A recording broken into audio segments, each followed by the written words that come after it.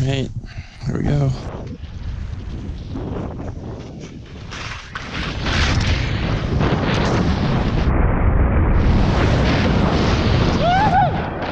Wow, well, that was fun.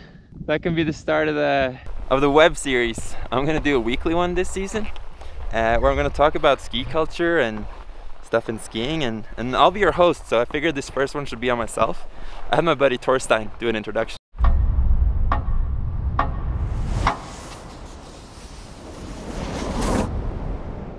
This is Nikolai. Nikolai loves what he does.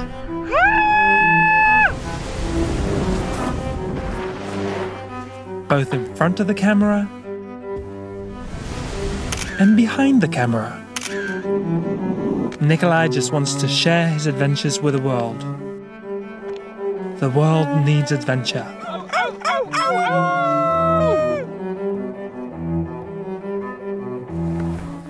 I don't know if the world really needs adventure. That's just something I told my sponsors to get money to do this. I'm from Norway, where I used to live in this house with six of my buddies. But then it got torn down. So a few weeks back, I relocated to Canada. I bought this big black truck and a big black sled to get into the BC lifestyle.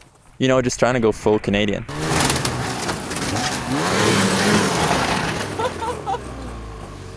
and most importantly, beef jerky. It looks pretty badass actually, but it's super noisy. Without the noise though, it's really, really, really nice out here. See the lights and watch them grow. now you've been to hell and back. Remember what you once called home. Take a deep breath in and you'll forget.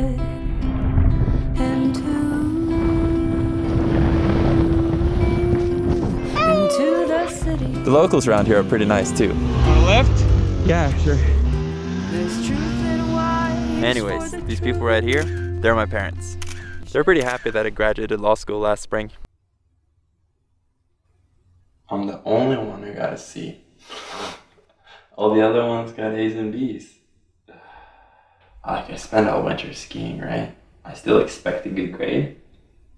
It shouldn't come easier to me, but it just like, it just has, like the past years, it has come easier. Got a law degree though. So I just decided to skip going into law for a bit, and I moved out here to Pemberton instead. Alright, first day here, and uh, Callum's coming, and Abma's gonna be there, and I'm like, okay. I don't even know what the train looks like up there. I just hope I don't get stuck as much today as I did yesterday.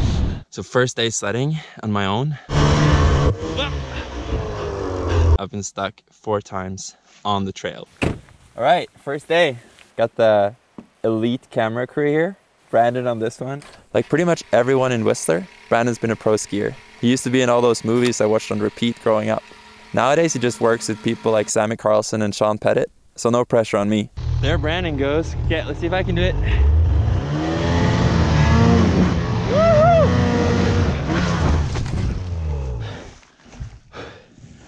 Yeah, made it up here. Only one little roll on the snowmobile. So that's good. Abma and Callum are nowhere to be seen. They're the veterans. They sled farther past where the newbies go. Should be fun to snow. Seems soft. into into the city into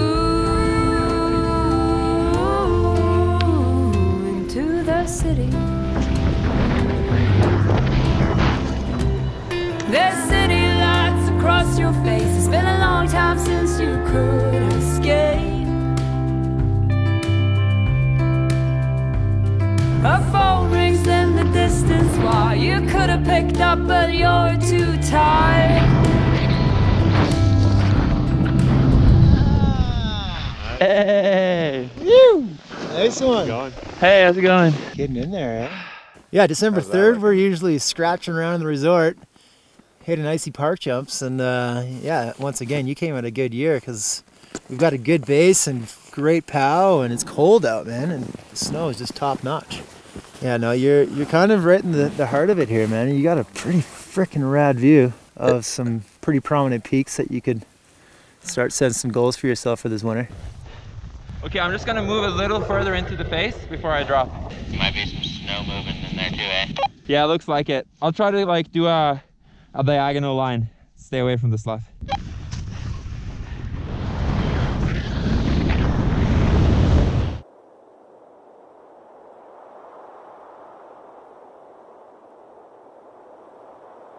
Well, that was fun.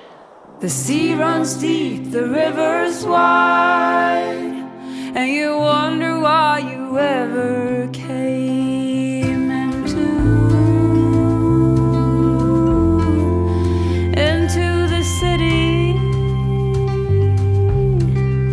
into